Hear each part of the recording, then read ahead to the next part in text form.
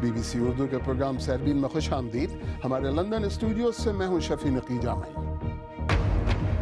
پاکستان کے صوبہ سندھ کے علاقے تھر میں خودکشیوں کا بڑھتا ہوا رجحان۔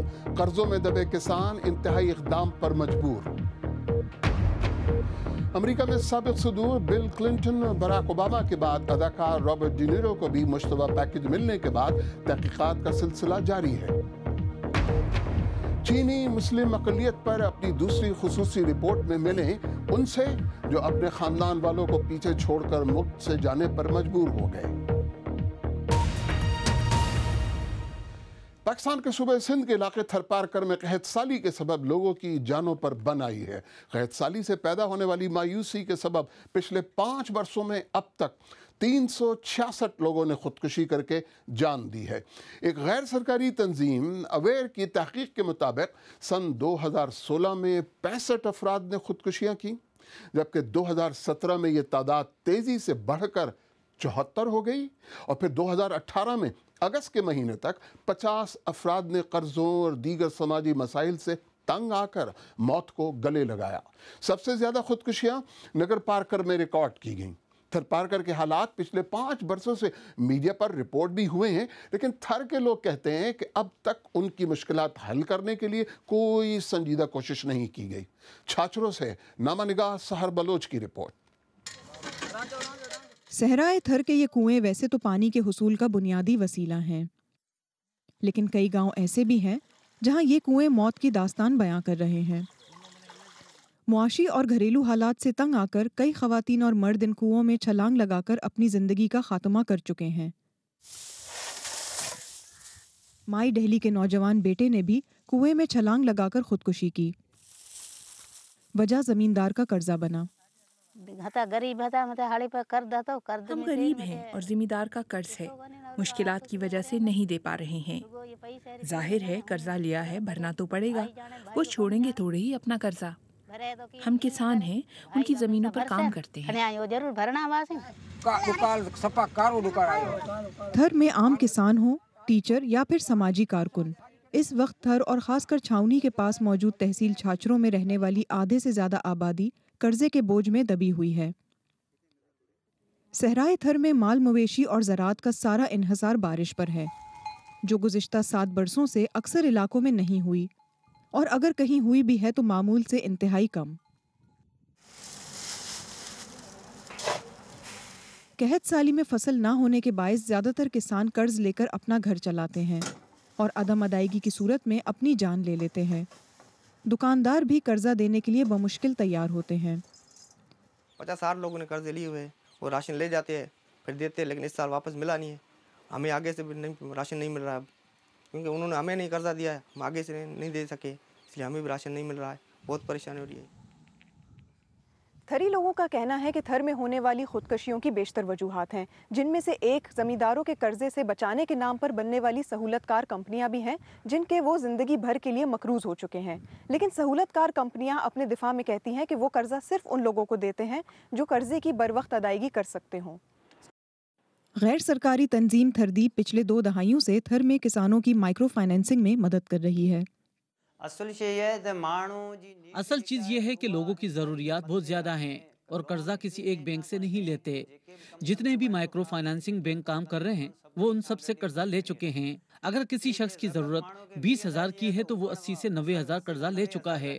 جبکہ گھر میں آمدنی دس ہزار آتی ہے وہ پچیس سے تیس ہزار قرضہ کیسے چکائے گا؟ تیس ہزار قرض ادا کرے کتنا سکے تھر میں چار سال سے جاری قحط سالی کے کئی مضر اثرات رونما ہوئے ہیں۔ ان حالات میں تھری عوام کا خیال ہے کہ ان کی بنیادی ضرورتیں ایوانوں میں زیر بحث نہیں آتی جس کی اس وقت اشد ضرورت ہے۔ Sahar Baloch, B B C news Chhachro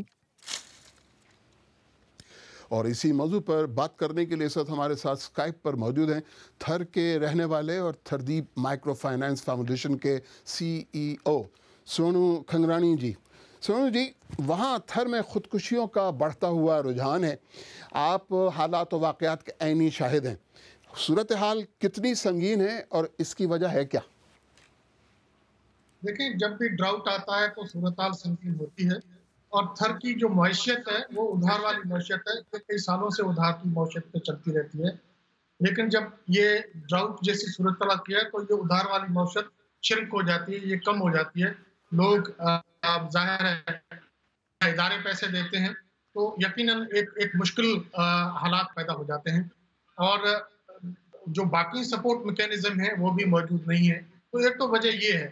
دوسری وجہ جو میں سمجھتا ہوں، جو ہم نے دیکھا ہے کہ میری فیملی بھی اس میں وکٹم ہے کہ وہاں پہ ایک ڈینائل ہے، جو سوشل پرابلم ہے ڈپریشن ہے، جو نفسیات کے پرابلم ہیں، ان کا کوئی کوئی علاج نہیں ہے۔ پورے تھر پارکر میں ایک بھی نفسیاتی ماہر ڈاکٹر نہیں ہے جو ایک کاؤنسلنگ کرے یا کوئی ان کے لیے علاج معالجے کی بندوبست ہو۔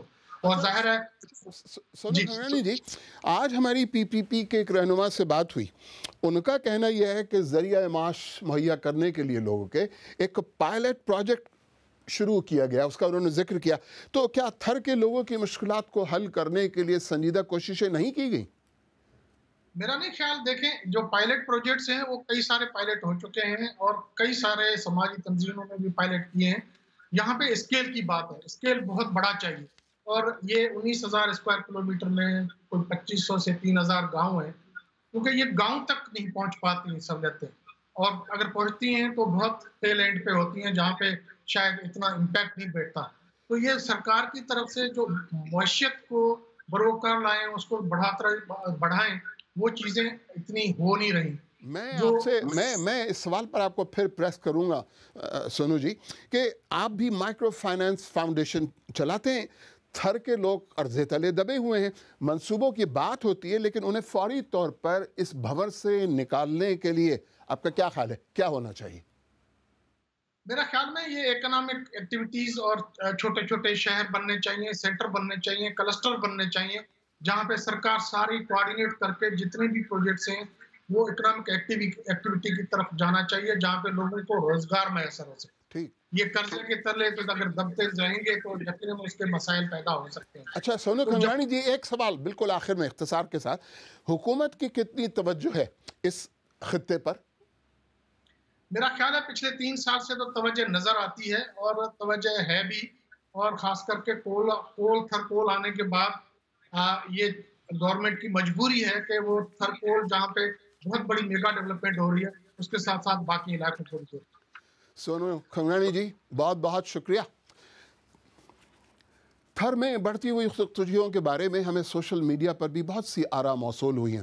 اسمت خٹک نے لکھا کہ مجبور لوگ ووٹ بھی انہی زمینداروں کو دیتے ہیں۔ وفاقی حکومت کو ان لوگوں کا قرض چکانے چاہیے تاکہ یہ غریب لوگ اس عذاب سے نکل آئیں۔ افتخار احمد کہتے ہیں کہ اربوں روپے پر سرمایہ داروں نے عدالتوں سے سٹے آرڈر لے رکھا ہے۔ تھر میں آفت زدہ علاقوں کے قرضے معاف نہیں کرا سکتے کیا؟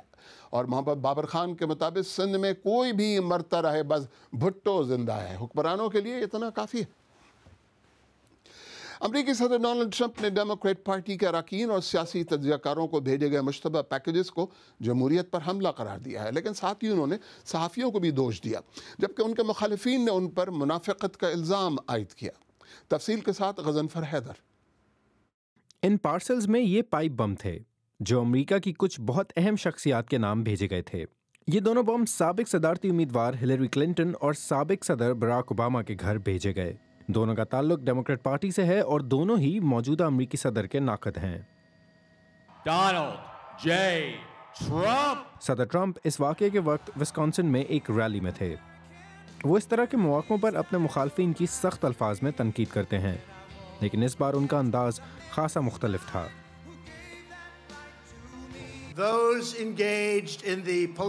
جو لوگ سیاسی میدان میں ہیں انہیں اپنے حریفوں کی کردار کشی بند کرنا ہوگی۔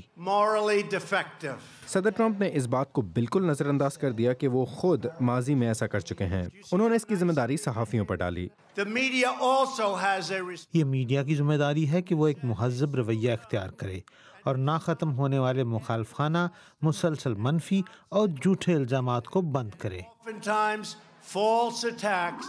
ان پارسلز میں سے ایک سی این این کے دفتر میں ملا۔ اس پارسل میں دھماکہ خیز مواد تھا جو کہ سی آئی کے سابق سربراہ اور تجزیہ کار جان برینن کے نام تھا۔ وہ سمجھتے ہیں کہ ان واقعات کی تفتیش کا نتیجہ جو بھی نکلے صدر ٹرمپ کہیں نہ کہیں اس کے ذمہ دار ضرور ہیں۔ صدر ٹرمپ جس طرح کی زبان استعمال کرتے ہیں وہ نہ تو ایک صدر کو اور نہ ایک امریکی کو زیب دیتی ہے بلکہ یہ نقصان دہ بھی ہے۔ امریکہ کے مشرقی حصے میں ملنے والے ان پارسلز کے کچھ ہی دیر بعد اسی طرح کے خط لاس اینجلس کے میل سینٹرز میں بھی ملے۔ سیاسی طور پر بٹے ہوئے اس ملک میں صدر ٹرمپ دوسروں کو تو رویہ اور الفاظ درست کرنے کی تلقین کر رہے ہیں لیکن اب یہ دیکھنا باقی ہے کہ وہ اپنی نصیحت پر خود عمل کرتے ہیں یا نہیں۔ Ghazanfar Haider B B C news. Saudi عرب کے سرکاری ٹی وی نے کہا ہے کہ سعودی عرب اور ترکی کے مشترکہ ٹاسک فورس اس نتیجے پر پہنچی ہے کہ جمال خاشجی کے قتل کی منصوبہ بندی پہلے سے کی گئی تھی۔ سرکاری ٹی وی کا مزید کہنا ہے کہ سعودی عرب مشتبہ افراد سے تفتیش کر رہا ہے۔ مغربی دفاعی اتحاد نیٹو کی طرف سے آج جمعرات سے جنگی مشقوں کا آغاز کیا جا رہا ہے۔ یہ مشقیں سرد جنگ کے خاتمے کے بعد اپنی نوعیت کی سب سے بڑی جنگی مشقیں ہوں گی۔ ٹرائیڈنٹ جنکچر نامی ان جنگی مشقوں میں پچاس ہزار فوجی، دس ہزار فوجی گاڑیاں اور تین سو سے زیادہ جنگی طیارے ہیلی کاپٹر بحری جنگی جہاز حصہ لے رہے ہیں۔ ایتھیوپیا کی پارلیمان نے ساحل زوڈے کو بطور صدر منتخب کیا ہے۔ ساحل زوڈے نہ صرف ایتھیوپیا کی بلکہ افریقہ کی تاریخ میں پہلی خاتون صدر ہیں۔ سربی میں آگے چل کر چینی مسلم اقلیت پر دوسری خصوصی رپورٹ میں ملیں گے ان سے جو اپنے خاندان والوں کو پیچھے چھوڑ کر ملک سے نکل جانے پر مجبور ہوئے۔ بی بی سی اردو کے پروگرام سیربین میں ایک بار پھر خوش آمدید۔ برطانوی حکومت نے چین میں تقریباً دس لاکھ اویغور مسلمانوں کو حراستی مراکز میں رکھے جانے پر شدید تشویش کا اظہار کیا ہے۔ بی بی سی کے پاس ایسے نئے ثبوت آئے ہیں کہ چین شنجیانگ کے مغربی علاقے میں مسلم آبادی کے لیے جیل نما حراستی مراکز کا ایک بڑا نیٹ ورک بنا رہا ہے۔ چین کہتا ہے کہ یہ ووکیشنل ٹریننگ سینٹرز ہیں جنہیں دہشت گردی پر قابو پانے کے لیے بنایا گیا ہے۔ ہمارے چین کے نامہ نگار جان سٹڈورتھ نے کچھ ایسے افراد سے بات کی جو اس علاقے سے نکلنے میں کامیاب ہو گئے۔ ان لوگوں کا مطالبہ ہے کہ برطانوی حکومت ان کے خاندانوں کی مدد کے لیے مزید اقدامات کرے۔ جان سڈورتھ کی رپورٹ، سلیم قاضی کی زبانی۔ شنگ جنگ میں اب آپ کو لمبی داڑھی نظر نہیں آتی کیونکہ اس پر پابندی ہے۔ مسجدیں خاموش ہیں اور یہاں عبادت کے کوئی آثار دکھائی نہیں دیتے۔ لیکن کوئی شخص بھی بات کرنے کی ہمت نہیں کرتا۔ جب ہر وقت کوئی آپ کا پیچھا کر رہا ہو اور آپ پر نظر رکھے ہو، تو آپ ہمت کیسے کریں؟ کچھ اوئگر لوگوں نے ترکی میں پناہ لے رکھی ہے۔ ایک ایسا ملک جس کی زبان اور مذہب چین کی اس مسلمان اقلیت کے لیے اجنبی نہیں۔ ان صاحب کے بقول ان کو حراستی مرکز میں ڈالنے کے لیے چند آیتوں کی تلاوت ہی کافی تھی۔ اور اب انہیں ڈر ہے کہ ان کا خاندان بھی کسی حراستی مرکز میں بھیجا جا چکا ہوگا۔ مجھے نہیں معلوم میری ماں اور باپ کہاں ہیں میرے تمام بہن بھائی کہاں ہیں۔ چینی حکومت چاہتی ہے کہ ہم اپنے عقائد اپنی نسلی شناخت اور انسانیت سب سے منحرف ہو جائیں۔ ماضی میں کیمپ میں رکھے جانے والے ان صاحب کے بقول وہاں زبردستی کمیونزم کے ترانے اور انتہا پسندی کے خلاف بنائے گئے خصوصی گیت آپ کو یاد کرائے جاتے ہیں۔ کیمپ میں ہر روز کسی نہ کسی کو پیٹا جاتا تھا۔ ایک شخص کے ہاتھ میں بیلٹ ہوتی تھی اور دوسرا لاتیں مارتا تھا۔ اگر ہم گر جاتے تھے تو زبردستی گھٹنوں کے بل کھڑا کر دیا جاتا تھا۔ جن لوگوں سے ہم ترکی میں ملے وہ ان خوش نصیبوں میں شامل تھے جو دو ہزار پندرہ میں یہاں آ گئے تھے۔ اس کے بعد سے کسی کے کیمپ سے نکلنے کی خبر کم ہی ملتی ہے۔ جو باتیں ہم نے یہاں سنی آزادانہ ذرائع سے ان کی تصدیق ممکن نہیں۔ لیکن خاص بات یہ ہے کہ ان کے بیانات ایک جیسے ہیں۔ کیمپوں میں ہر روز کیا ہوتا ہے اور شاید اس سے زیادہ اہم بات یہ کہ اس تربیتی کیمپ کا نتیجہ کیا نکلتا ہے۔ کمیونسٹ پارٹی سے وفاداری اور محبت کی بجائے شدید اور مستقل نفرت۔ عقائد کے ساتھ ساتھ خاندان بھی ٹوٹ رہے ہیں۔ جب بلکیس وہاں سے بچوں سمیت فرار ہوئیں تو سب سے چھوٹی بیٹی کا پاسپورٹ نہیں بنا تھا۔ ان کا خیال تھا کہ وہ اپنے والد کے ساتھ یہاں آ جائے گی۔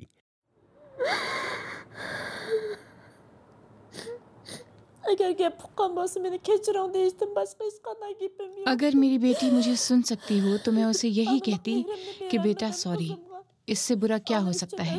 کہ مجھے پتا ہی نہیں کہ وہ ہے کہاں زندہ بھی ہے یا مر چکی ہے؟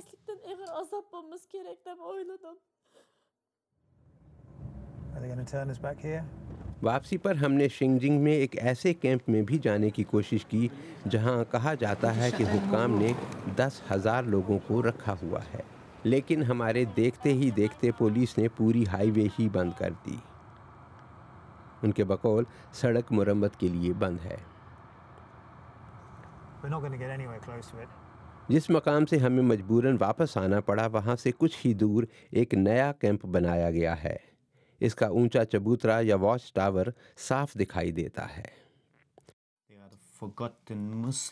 لگتا ہے چینی پولیس کی رسائی دور دور تک ہے۔ میری زبان بند کرانے کے لیے پولیس والے میرے خاندان کے ہر فرد کو ہراساں کر رہے ہیں۔ پولیس کہتی ہے کہ چینی حکومت کے خلاف ایک لفظ بھی نہ بولو۔ میری زبان بند کرانے کے لیے پولیس والے میرے خاندان کے ہر فرد کو ہراساں کر رہے ہیں۔ پولیس کہتی ہے کہ چینی حکومت کے خلاف ایک لفظ بھی نہ بولو۔